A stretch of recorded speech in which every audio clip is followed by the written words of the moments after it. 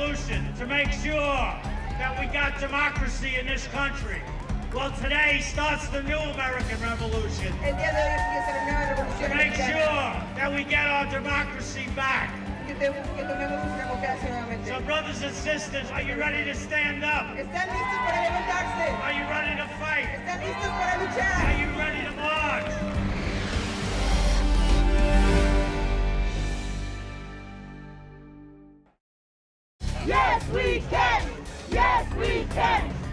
Democracy Awakening, they call it. Thousands of protesters massing in Washington. All over the country, Americans are fed up. And rebelling against the politicians and the power brokers. I believe that we will win! Fighting against Citizens United, We do not believe that corporations are people. voter suppression, We will never stop battling. dark money, The money was hopping from one nonprofit to another, all for the purpose of concealing donors. gerrymandering, The real work on redistricting was being done behind closed doors. pressing for reform. If this singing and these chants up on the Capitol steps remind you of the civil rights movement, it should. This is Americans protesting, in this case against big money in politics, for voting rights, against gerrymandering, against a broken political system. We are the 99%! We are! But as I interview March leaders, I wonder can it work? Can ordinary voters halt what many see as politicians rigging elections? Can citizen reformers stop the big money that they fear is dominating elections? It's happened before. We, the people, demanding our rights. A century ago in the progressive era, mass protests won women's right to vote. Direct election of senators. Congress outlawing corporate spending in elections. The 1960s, another rebellion. A grassroots movement challenging the power structure and winning change. Martin Luther King and the March on Washington. Selma, Alabama, and the fight for black voting rights. Today, partisan gridlock blocks change in Washington. And so once again, the grassroots are riled up and rising up, state by state. It's the kind of story I've seen before. In the 1960s, I covered the civil rights protests in the Deep South, reported on the Vietnam War in Saigon, the Cold War and Gorbachev's perestroika from Moscow, and covered six American presidents. Today, the states are where the action is on reform. So it's time for me to get out into the country to take the measure of the new wave of grassroots rebellions. First stop, Seattle. Puget Sound, the famous Pike Street Market. I find people gathering for picnic lunch. Fishmongers draw a crowd tossing salmon. It's a peaceful, sunny September day. But rebellion is brewing. So, what we're doing today is we're going to cover the market. A band of volunteers have come to galvanize support for a statewide vote on an initiative to curb billionaire and corporate money in political campaigns, hoping to pressure Congress to take action. Primarily, we're targeting voters that don't know about our initiative, um, because you know the recent polling showed 36% are undecided. It's Initiative 735. Thank you. We need to put the power of the vote back into the hands of the people so that the wealthy entities will no longer have a pipeline. Linda Bach is a modern Paul Revere, awakening the popular rebellion. She collected 21,000 signatures to help put Initiative I-735 on the 2016 ballot. I've long had the idea that I am continuing the American Revolution. Every signature I get is just another check for the Constitution and the power of we the people. Democracy, you must fight for it or it'll slip right out of your hands. Fear that mega money is corrupting our democracy has turned average Americans like Cindy Black into reformers. I definitely think the Supreme Court decision of Citizens United has unleashed so much money in our system that it's ceased being a democracy. And now we've turned into an oligarchy. In the Citizens United decision in January 2010, the Supreme Court overturned a century old ban on corporate political spending. And ruled that corporations can spend freely now on political campaigns. Justice John Paul Stevens dissented. Corporations, he said, already have political action committees, but allowing them unlimited use of their vast treasuries, he warned, unleashes the floodgates. Stevens was prophetic. Suddenly, unregulated campaign spending by independent political groups shot up from $8 million in 2009 to 301 million in 2010 to 1.4 billion in the 2016 election.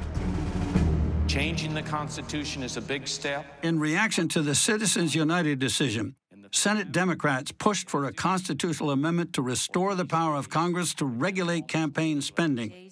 But party line Republican opposition blocked the move. Affirmative. The motion is not agreed to. Money talks, baby! Money talks! So reformers shifted to the states. Several legislatures called on Congress to roll back Citizens United. 800 cities joined. In Colorado and Montana, 74% bipartisan supermajorities voted against Citizens United. In Washington state, volunteer activist Cindy Black leads the charge for ballot initiative 735. And just by a show of hands, how many of you collected signatures for 735 out there? Give everybody a round of applause, those folks, because because we collected um, 293,000 of our signatures were collected by volunteers. So I have never run a campaign before. I'm really a grassroots organizer. I was in the Air Force, I was a, a, crew chief, and then I went to college. I was a marriage and family therapist for quite a few years, and then running my own business. Black is the spark plug of a statewide citizen movement. Your country back. We're trying to get our citizens, our voters on record saying that we do not believe that corporations are people. We do not believe that money is speech, and that we think that political contribution should be regulated and made public. But others, like corporate investment analyst Kelly Houghton, sharply disagree. I do not want to touch the First Amendment. And this effort, I 735, seeks to restrict the freedom of speech of certain groups of people who've come together to form corporations. Citizens United was quite simply a corporation formed for the purpose of engaging in political speech in the form of a movie that Hillary Clinton didn't like. If our forefathers really believed that corporations were people, I think they would have put that in the Constitution, and it is nowhere to be seen. Voting on this issue, would you like to? Okay, they want to censor corporate speech. Let's think about all the things out there that are corporations. Seattle Times, the Corporation for Public Broadcasting, the New York Times, CNN, Fox News, we cannot afford as a country to censor corporations engaging in free speech. We do not want anything to limit free speech for the press or freedom of the press, not, uh, not at all. What we're talking about is limiting money in elections. Let's give a round of applause for Spokane! Black has a statewide network of volunteers from the Idaho border to the Pacific coast. It's not about left or right. I don't care if you're a Democrat, Republican, or other. Yeah. We just want government that represents you, not the big briefcase full of money. But how can amateurs win without big funding? I've talked to professional politicians in this state. They say it takes $3 million to run a successful political campaign in Washington yes. State. You don't have $3 million. No. So what does it take to win? You're in a big state here, Washington State. We talk to people. That's how we're doing it. Contact direct voter contact, person to person. Please tell your friends and family. Okay. You can pass an initiative with a grassroots effort with a small budget. We can do it. And they did it. 63% of Washington state voters rejected Citizens United and unlimited corporate money in campaigns. It takes 34 states to force Congress to act on a constitutional amendment. 20 states are now on record against Citizens United. Getting 14 more is the next challenge.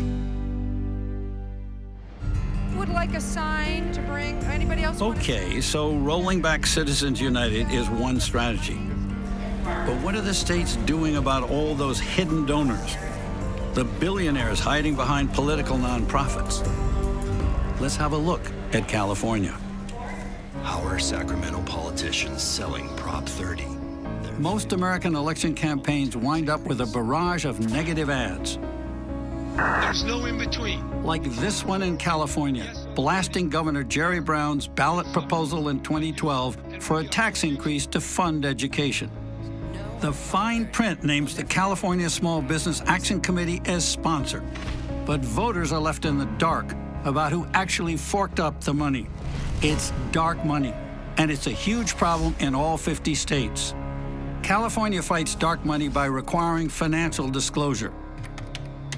So Common Cause activist Derek Cressman, checking an official state website, spots a sudden flood of out-of-state dark money. We saw this contribution of $11 million, a, a huge amount, coming in from this group in Arizona. The money came from a group called Americans for Responsible Leadership, never before active in California politics. But who's this group fronting for? Anonymous contributions are prohibited in California. So Common Cause files a complaint with California's election watchdog, the Fair Political Practices Commission. And we asked them for a formal investigation. Our reaction was just shocked at how large the $11 million contribution was. Because it was the largest anonymous contribution ever in a campaign in California. Commission Chair Ann Ravel is a new kind of sheriff. She wants fast action. My immediate reaction was yes, it was absolutely, we have to jump on it. We felt it was incredibly important to make sure that the public had the knowledge before Election Day of who was contributing that money. And the reason is that ballot measures are complicated. And knowing who's behind it, it's like a voting cue. For some people, they have voting cues whether they're going to vote for Republicans or Democrats for candidates. But for ballot measures, knowing who's funding them or who's behind it, those are voting cues. But the time crunch is acute. Less than three weeks to Election Day. We contacted the Arizona nonprofit. We got a call back from a major Washington, D.C. law firm. And truthfully, that raised our suspicion even more. Because this little nonprofit in Arizona had this big time Washington law firm representing it. The lawyer was Jason Torchinsky. At 36, Torchinsky was already a Top Gun attorney on campaign law for big name Republicans. Winuk tells Torchinsky that California law requires the Arizona group to reveal its funders, but Torchinsky resists. So you get a stonewall from these guys, and you right. see this guy Torchinsky is connected with a lot of high-powered Republicans. What's your reaction? My feeling was we need to take him to court right then. At Sacramento Superior Court, Winuk and Torchinsky clash head to head. You know, the purpose of the FPPC, Your Honor, is to enforce the law even-handedly, not to railroad someone into forcing disclosure. So he and I both showed up in court. Um, we were saying, if you want to boil it down to its essence, give us the records.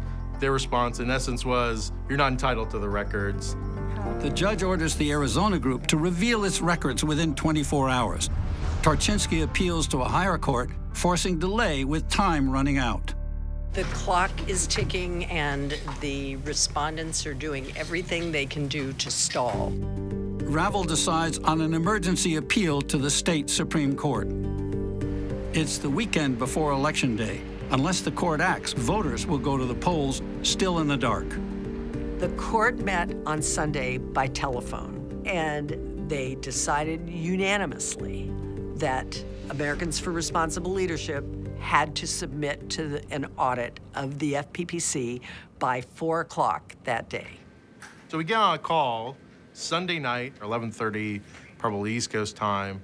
And so we get into a kind of heated discussion about what they're actually going to provide us. Let me say that on Monday morning, I had absolutely no idea what was going to be delivered to me. Monday a.m., the dark money network comes out of the shadows, makes a series of revelations.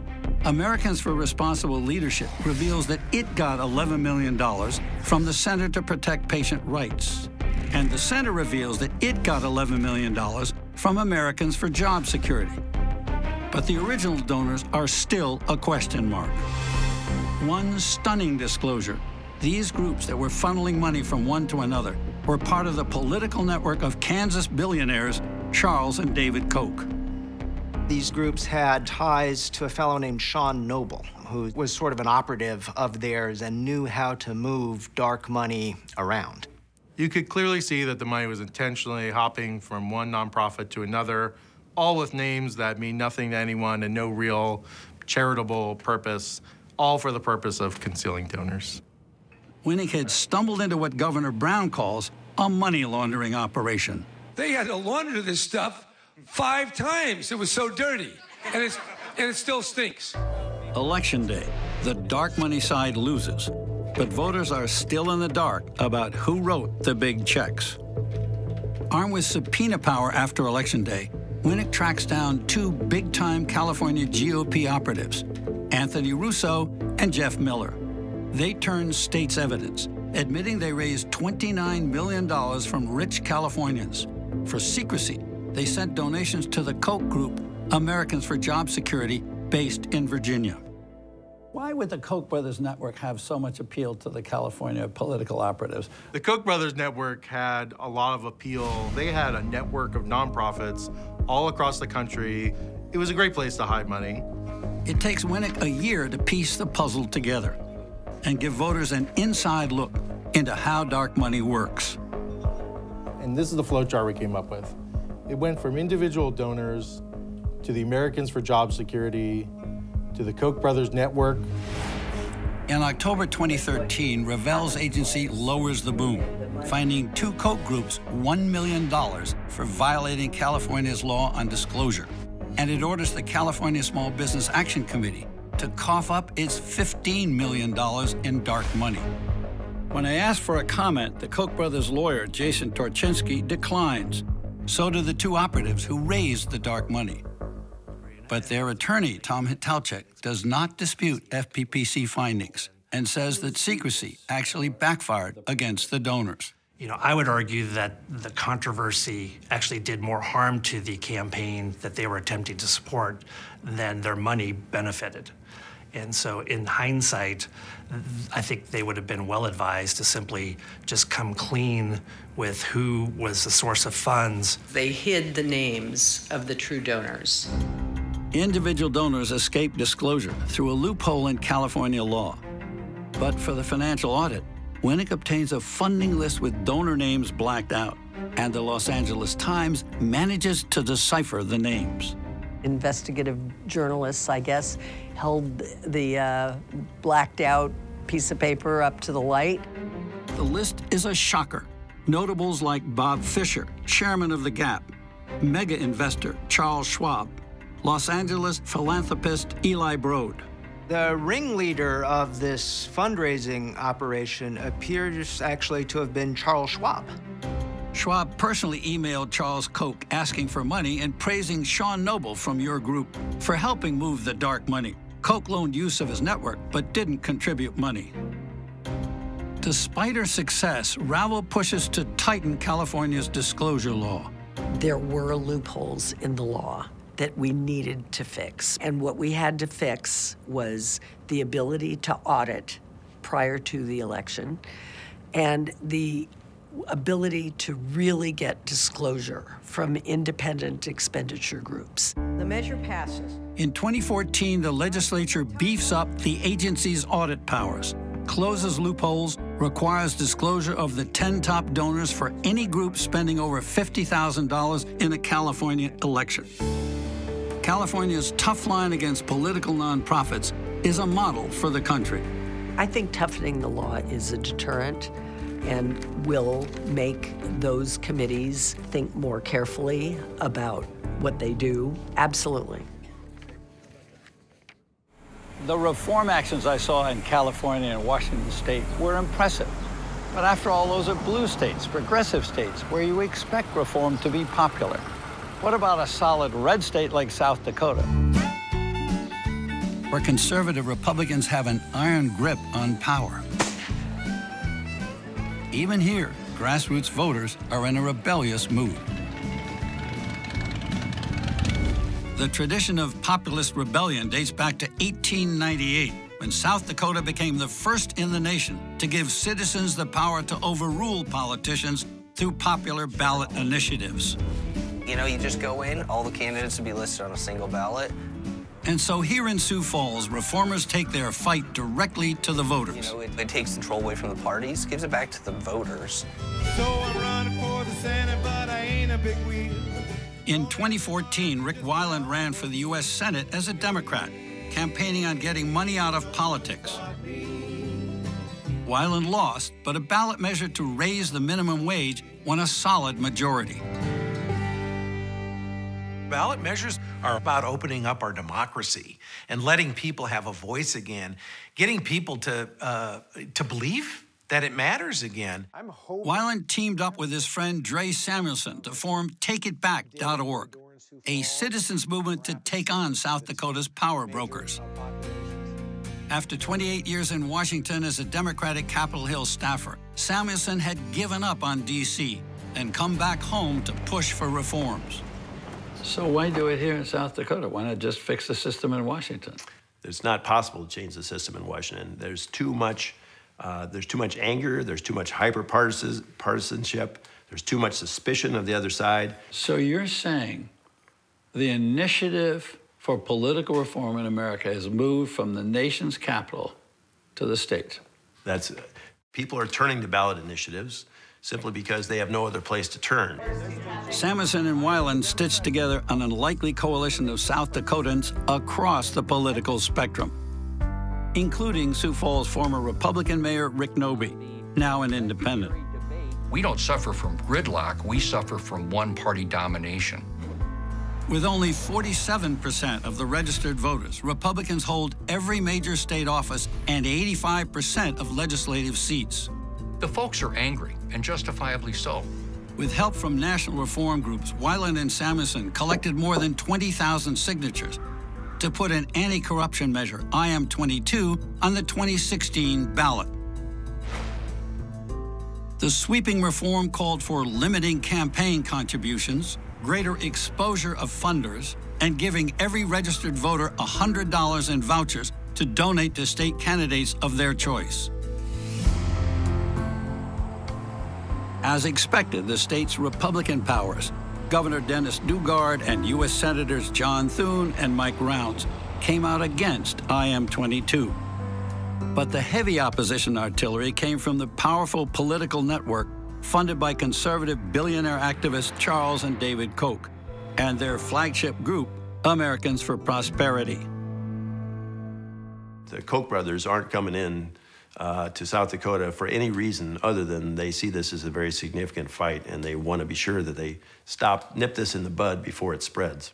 South Dakota is divided uh, almost in the middle by the Missouri River. I found Ben Lee heading the Koch operation in South Dakota and leading a wealthy coalition that ran waves of radio ads and statewide mailers attacking Measure 22. Publicly funded campaigns is a nice way of saying taxpayer funded elections. At a civic debate in Sioux Falls, Lee spoke against public funding. We don't want our tax dollars to be used for attack ads and robocalls at dinner, for postcards, for mailers, and all of those other sorts of things. Those are important tools of the campaign process. We just don't think that the taxpayers should be the folks that are forced to foot the bill. Right now, Corruption in state government costs over $1,300 per person, whereas this would be limited to $9 per person. You wrote an op ed about this for one of the local papers, and you called Initiated Measure 22 a nightmare.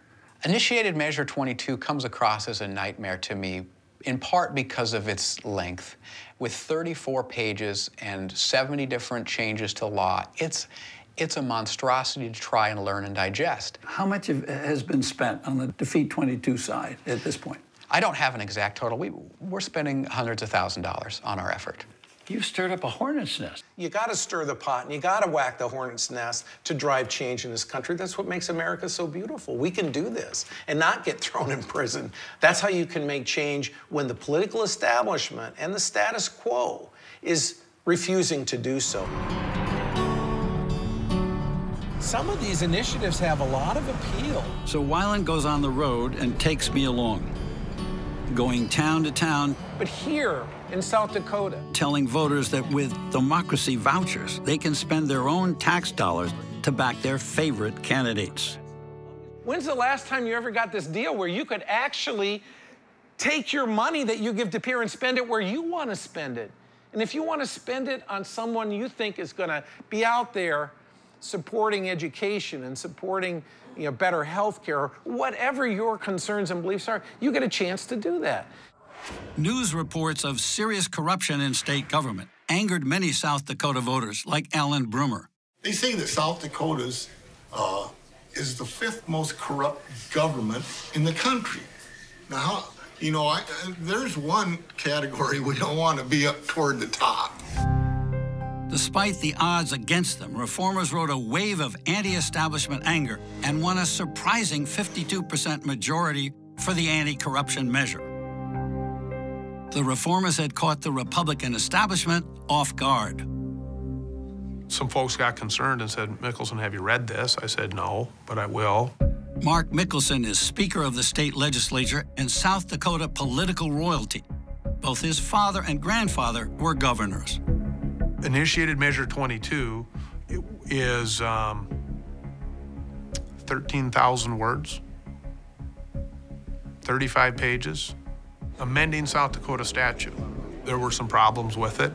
But under South Dakota law, voters have the final say, or so everyone thought.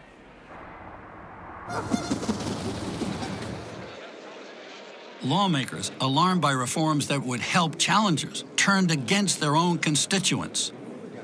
I've had private conversations with many of you that said, if we don't repeal this, I'm resigning. South Dakota voters did not fully understand what they were voting for. In an unprecedented move, the legislature called a state of emergency and, by a party line majority, vetoed IM 22 and simply rejected the will of the people.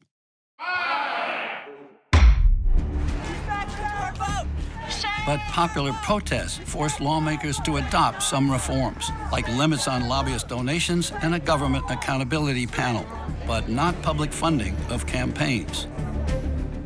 The two sides clashed again in November 2018 with rival ballot initiatives. Neither side got all it wanted. The Republican Speaker failed to block future citizen initiatives, but he made them harder to pass reformers fell short on their new initiative, but already they're gearing up for new reforms in 2020. It's the system that's the problem. It's not the people. It's this, we have to change the system. This legislature, with 85% of Republicans, want to make it more difficult to do that. That just is wrong, and we're going to fight it tooth and nail. So the battle here rages on. But are there states where public funding of campaigns is already at work? I've heard good things about Connecticut, so that's where I head next. The gold dome of Connecticut's dignified state capitol is an emblem of the Gilded Age, a symbol of the traditional power and influence of a wealthy elite. But poorer neighborhoods in Hartford, New Haven, and Bridgeport lacked a clear voice in state politics. All that changed a decade ago in 2008 when Connecticut implemented public financing for state elections, one of four states using this model reform. Suddenly, new people could run for office, like Navy veteran Gary Winfield, now a state senator from New Haven. Could you have run without this public funding? Could you have afforded it?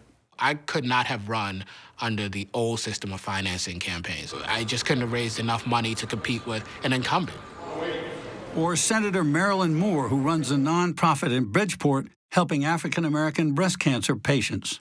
I'm a person from a low income community who had children very young, who did depend on food stamps for a while. I would not have even thought about running for state senate without this funding. They personify the changing face of the legislature more women, blacks, and Hispanics. Changes triggered by the scandal driven resignation in 2004 of third term Republican Governor John Rowland. I acknowledge that my poor judgment has brought us here. Rowland was sentenced to one year in prison for taking $100,000 in kickbacks from state contractors. The public was fed up with corruption. There was a sense that the state, which had prided itself on pretty clean politics, had suddenly become tainted. Today, we begin to restore faith, integrity, and honor to our government. As Rowland's successor, Republican Jodi Rell, took her oath as governor, she called for reform. Governor Rell wanted to ban contributions from state contractors and state lobbyists. The Democrats who controlled the General Assembly then were concerned that that would mean the loss of too much campaign revenue. But public pressure turned the tide. The Connecticut Citizen Action Group, an alliance of 50 civic groups, pressed for sweeping reforms, tight limits on campaign donations, plus public funding of campaigns. Were there games going on here where the politicians were saying what the public wanted to hear? Namely, we want to do the right thing and have uh, reform. Mhm. But in fact, they were dragging their heels? Yes. And the fact is that in order to get um, the legislature and the governor to embrace truly comprehensive reform, there had to be a lot of grassroots pressure on the outside. Thousands of phone calls. There were car washes for clean elections. We did all kinds of grassroots activities. Republican Senator Len Fasano, originally a skeptic, Governor Rell sought out senators, including myself. became a yes vote. Reporters say both parties got dragged into reform. Typically, the party in power and the leaders in the party in power resist either gerrymander reform or campaign finance reform because the system is working for them. How did Connecticut break that? What moved the legislature? What moved the people who liked the system they had? It was a moment in time where the public shaming worked, the outside pressure worked, and finally the inside game decided this was the way to go. The final vote to overhaul campaign finance came at 2:44 this morning. Eventually, it passed in special session. Much to everyone's surprise, we ended up with a system of public financing for legislative races and statewide races. The reform was bold. A tight lid of $100 on all private campaign donations, including lobbyists, plus public grants from $25,000 for House races, $110,000 for Senate, up to 3 million for the governor's race, later doubled to 6 million. To qualify, candidates must first prove popular support by raising a quota of small local contributions. $5 to $100 uh, from individuals that live in their districts. And based on a qualifying amount, we give them public monies to run their campaigns. After that, no more fundraising, but using public funds is voluntary, so no one knew if candidates would do it. But right away in 2008, it took off. Today, it's solid. In 2014 and 2018, 80% of legislators from both parties used public funding. In 2014, all candidates for statewide offices used it.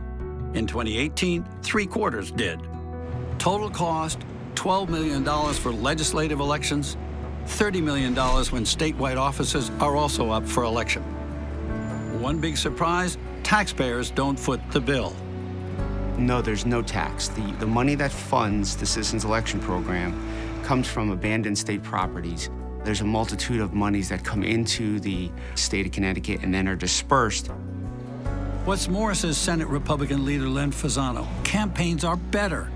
I think campaigns are more issue oriented, more focused on debates. You can have more conversations with your constituency as opposed to raising money.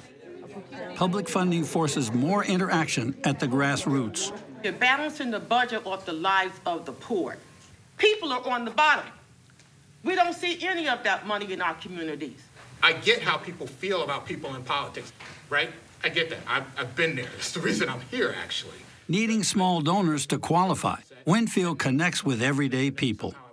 The older woman who's living by herself, trying to struggle to get by day by day, who has no way of interacting with me.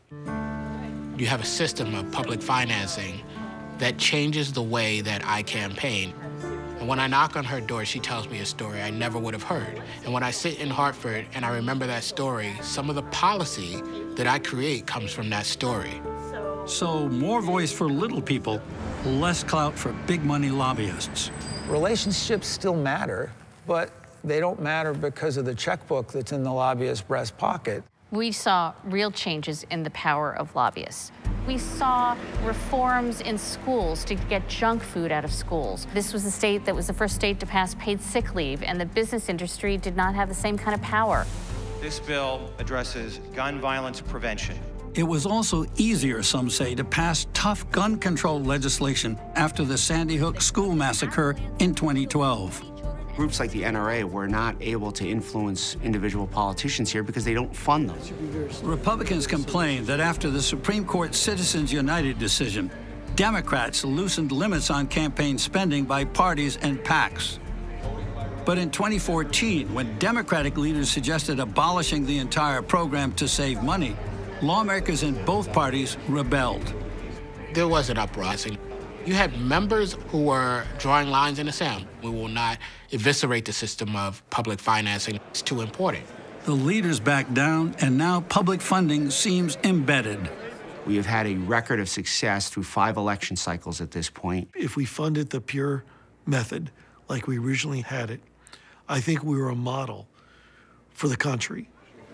I think the culture has shifted. I think in Connecticut, the culture is that the public financing of campaigns is what Connecticut does. So we've seen several ways to fight big money. But what about the right to vote? The argument between voter fraud and vote suppression. It's a hot issue in a dozen states. And I want to see how it's playing out in North Carolina. Good evening, everybody.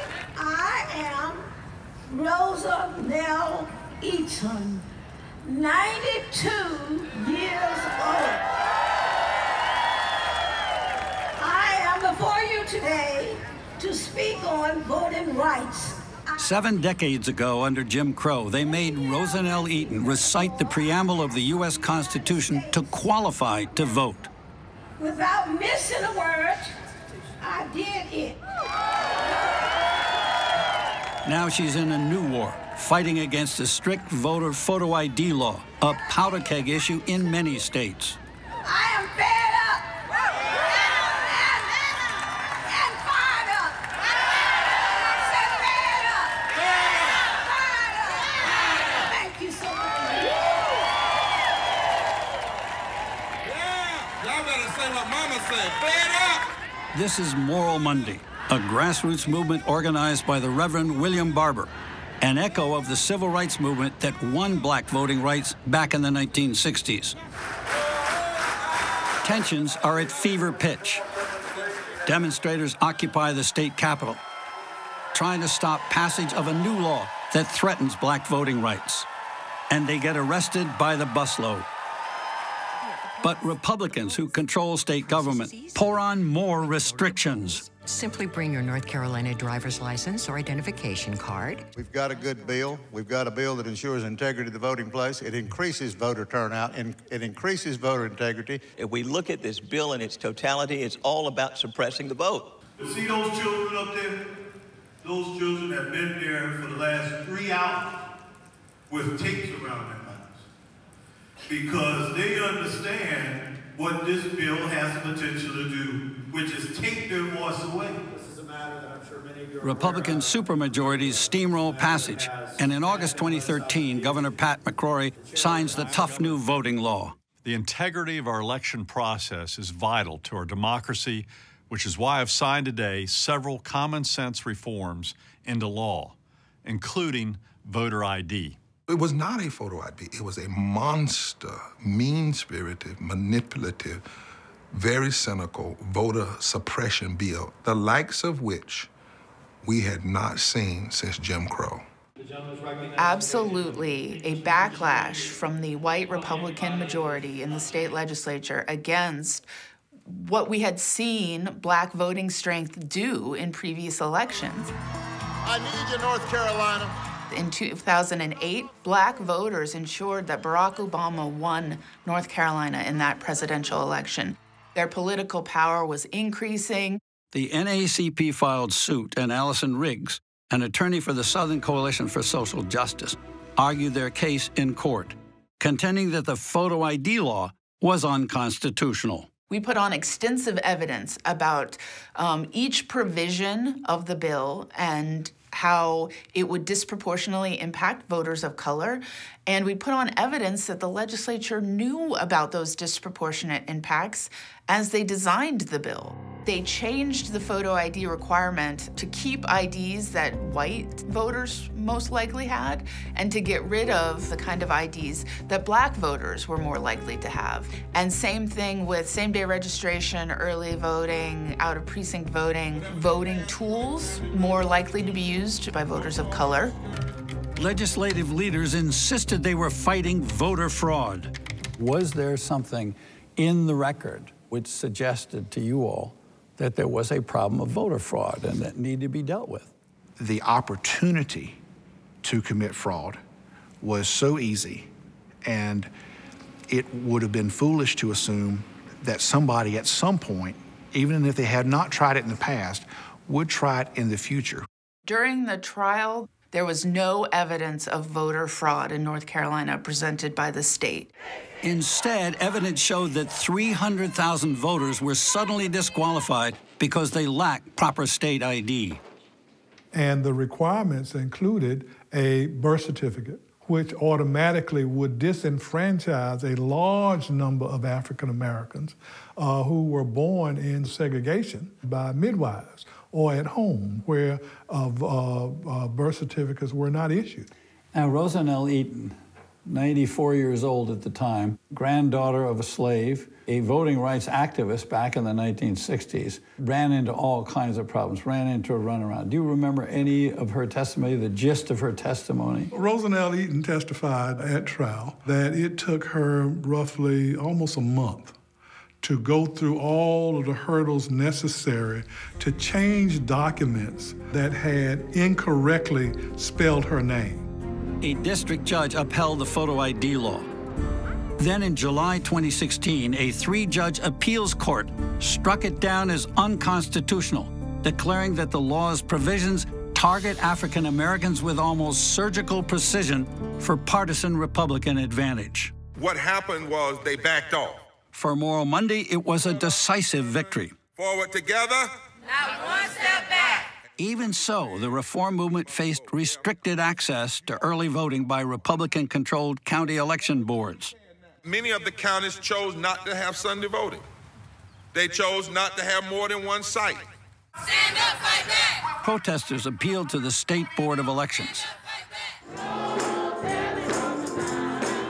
Big cities got more polling sites.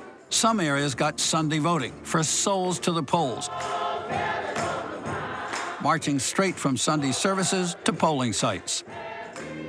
But in 2018, Republican leaders got North Carolina voters to pass photo ID as a constitutional amendment, with the legislature once again to write the details. I put nothing past this legislature. History is against them and they just can't seem to come on into the 21st century. We will never stop battling. And when we're willing to put our bodies on the line, when we're willing to dust off the Constitution and go into the courts, we can win.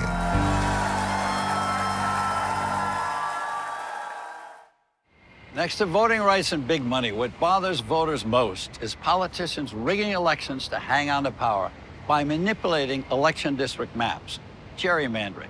It's a target of citizen reformers in 27 states, nowhere more dramatically than in Florida, where I'm headed next.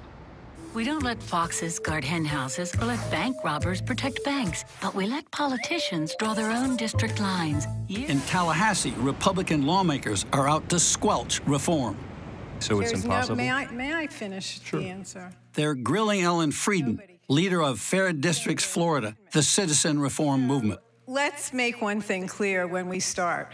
Florida is one of the most politically gerrymandered states in the Union. It's the reformers versus the power brokers. I represent all the people in Florida who really want to see the partisanship in redistricting stopped. Reformers want to amend the Florida Constitution to bar politicians from manipulating election district maps with the intent to keep themselves in power. Uh, Ms. Freidin, with all due respect, the word intent, the actual intent could only be determined by a court, could it not, as a matter of law? No, I think that the intent starts with you. Lawmakers questioned Freidin for hours, nitpicking comments she'd made to the media. So, can you tell me that you disavow those statements? I believe that my words are getting twisted here. So what I'd like to ask, please look at me. I'm asking, I'm speaking with you. But this is a pretty serious matter.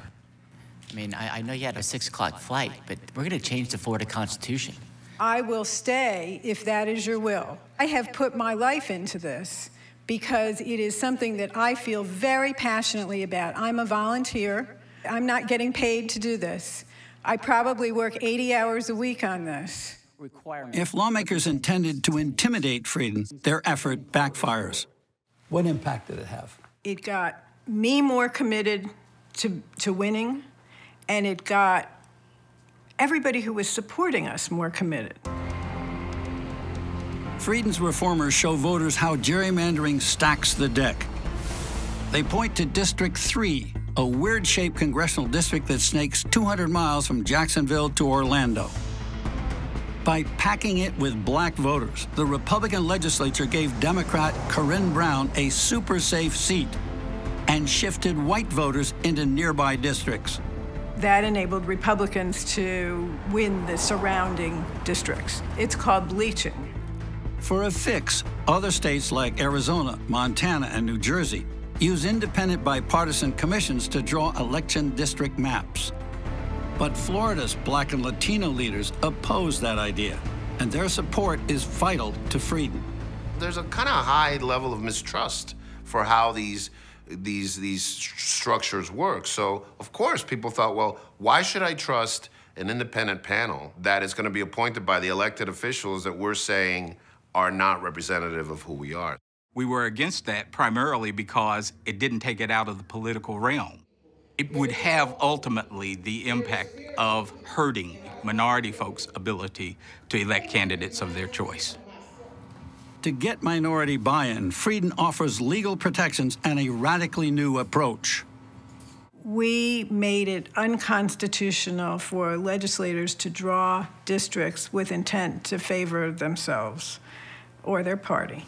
Freidin's coalition, spearheaded by Common Cause and the League of Women Voters, collects a million and a half signatures to put its reform on the ballot. And with strong media backing, they build broad bipartisan support among voters. The media's response to the Fair Districts movement was incredible. We had editorials from every single newspaper in the state, not only once, not only twice, but probably five or six times at every major juncture. Come election day, Fair Districts Florida achieves the impossible. 3.1 million Floridians vote for gerrymander reform, a 62.9% supermajority. But Republicans who had fought reform also win big, piling up huge legislative supermajorities.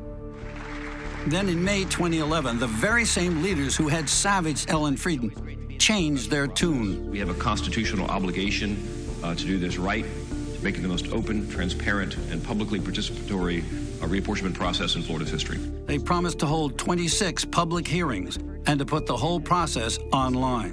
And making sure that we give citizens the direct say, literally the ability to send in their plans so that we can draw the lines that best reflect the communities that we all represent. It seemed too good to be true, and it was. For proof, look no further than the state of Florida. When the legislature unveils new district maps in February 2012, Ellen Freidin sees instantly that voters have been tricked. The new maps look a lot like the old ones, stacked to favor Republicans. It was gerrymandering with disregard for the Fair Districts Amendment, is what it was. When I saw the Republicans' 2011 redistricting plan, I was disgusted. The Republicans were willing to take the chance of defying the Constitution because they had been behaving that way for decades before then. They have legislative leadership had put together this scheme where they were going to act like they were following the Fair Districts Amendments, when in fact the real maps, the real work on redistricting was being done behind closed doors by paid political operatives. It was a double game. Making clear. Orlando attorney David King, representing the League of Women Voters, goes to court to expose the double game. Lawmakers claiming they want maps from the public, but secretly getting their real maps from Republican campaign operatives. And so, on a hunch, we, we subpoenaed a series of paid political Republican operatives. And what we got from this subpoena process was a treasure trove of maps and communications. Give me how you got the breakthrough. I presume when you take depositions, take testimony yeah. from the Speaker of the House, the Majority Leader, they basically don't tell you a lot. But you got to have somebody spill the beans. Who spills the beans and how do you get that? Well, it turns out one of the political operatives, Mr. Reichelderfer, was a, a, hoarder. He kept all his stuff. He had it in his computer.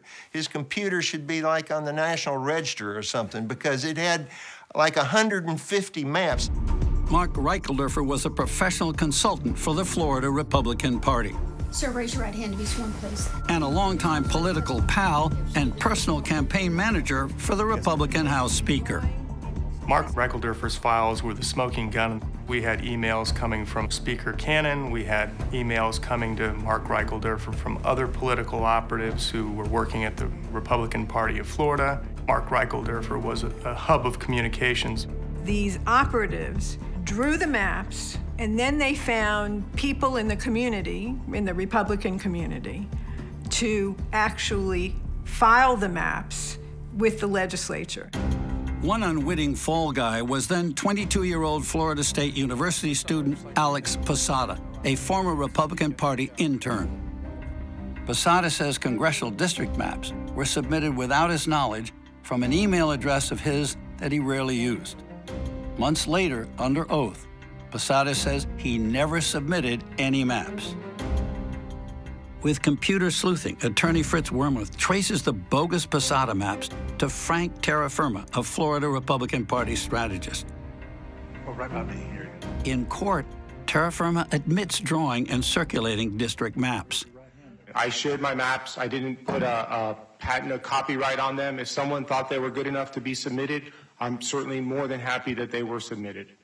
And we found that his maps had more districts that actually turned up in the final legislative maps than any of the others. A circuit court judge finds the legislature engaged in conspiracy and illegal gerrymandering. The judge orders maps redrawn for two congressional districts, but lawmakers made only minor tweaks. We had to appeal to the Florida Supreme Court. The High Court's ruling in July 2015 is a political earthquake it rebukes the legislature for partisan gerrymandering with unconstitutional intent and orders eight congressional districts redrawn. The state Senate then admits its maps were also illegal, and they're thrown out. When I saw the Supreme Court's decision, I started trembling. It was a complete and total vindication of all we had been working for for all these years. The courts relied heavily on maps drawn by Fair Districts Florida, which had immediate impact in 2016. With more competitive districts, five congressional incumbents are ousted. Political newcomers win, like former Orlando Police Chief Val Demings and Rollins College professor Stephanie Murphy. And in 2018, reform brought more new winners. So, what do you think the lesson or the message is for the rest of the country? The message is that our political system in this country can be fixed. And my answer to somebody who would complain would be get out there and fix it. If we can do it in Florida, you can do it in your own state. Energized by such victories, grassroots activists made 2018 a boom year for reform. In five states Ohio, Michigan, Missouri, Colorado, and Utah they won gerrymander reform. In Maine, Florida, and North Dakota, citizen movements passed election law reforms. Seven states made voting and voter registration easier. And cities like Baltimore, Denver, Phoenix, and Portland, Oregon adopted public funding of campaigns. We are seeing activism, the likes of which we haven't seen in decades. There is enormous opportunity to move reforms because people are hungry for concrete action they can take in this moment.